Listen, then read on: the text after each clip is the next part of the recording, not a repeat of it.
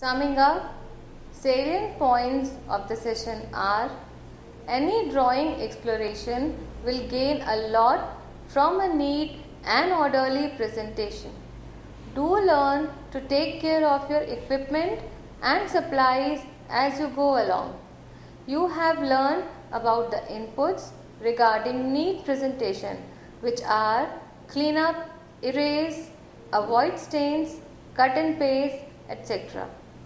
An important skill for a drawing and design student is the skill in picking and tracing a motif for further application in replication in a surface design.